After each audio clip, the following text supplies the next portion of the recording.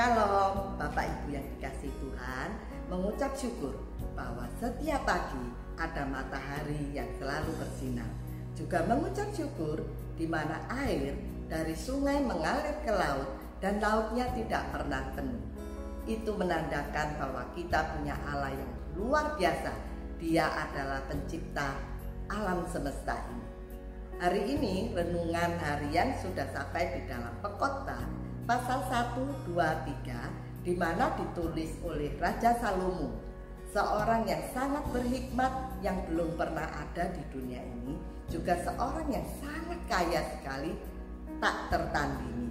Di dalam pekotbah ini Raja Salomo berkata bahwa adalah suatu kesia-siaan ketika kita bekerja berlelah-lelah di bawah matahari. Ataupun ketika kita berhikmat itu menambah susah hati dan ketika kita berpengetahuan itu banyak kesedihan di dalamnya. Jadi semuanya di dunia ini adalah sia-sia. Sedangkan arti dari sia-sia adalah lebih condong kepada tidak ada gunanya. Sedangkan dalam versi Ibrani tertulis Hebel Hebel itu mempunyai arti seperti uap atau nafas kita. Jadi sesuatu yang dapat hilang lenyap atau tidak kekal atau tidak mempunyai keabadian. Dan di kita manusia di dunia ini tidak abadi. Bapak Ibu, coba kita lihat telapak tangan kita. Hampir 90% manusia telapak tangannya bergurakan huruf M.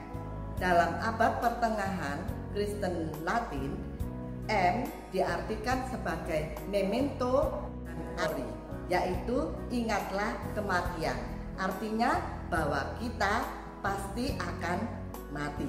Karena di dunia ini di bawah matahari tidak ada yang abadi yaitu Hebel. Jadi untuk apa Tuhan menciptakan kita di dunia ini? Tentu saja Jawabannya adalah di dalam khotbah pasal 12 ayat 13 14 yaitu kita harus dekat pada Tuhan. Kita harus takut pada Tuhan dan berjalan sesuai perintahnya itu adalah kewajiban kita di dunia ini. Sebab kita akan diadili baik yang berlaku baik maupun yang berlaku jahat. Lalu Bapak Ibu, ketika kita tahu bahwa kita ini hebel di dunia ini, apa yang kita lakukan? Tentu saja kita akan berbuat terbaik untuk hidup kita dan akan memaksimalkan hidup kita. Ketika menjadi ibu rumah tangga, tentu lakukan menjadi ibu rumah tangga yang baik. Ketika menjadi pelajar, jadilah pelajar yang baik. Dan ketika kita melayani pekerjaan Tuhan, pastilah kita akan memberi yang terbaik, yaitu kita berlaku, bertindak sesuai dengan kebenaran firman Tuhan dan teladan dari Tuhan Yesus sehingga kita dapat menghasilkan buah roh yang boleh menjadi berkat dan itu adalah keabadian yang diperhitungkan ketika kita pulang nanti. Selamat pagi, selamat menikmati hari ini. Dan ingatlah, hidup ini adalah seperti.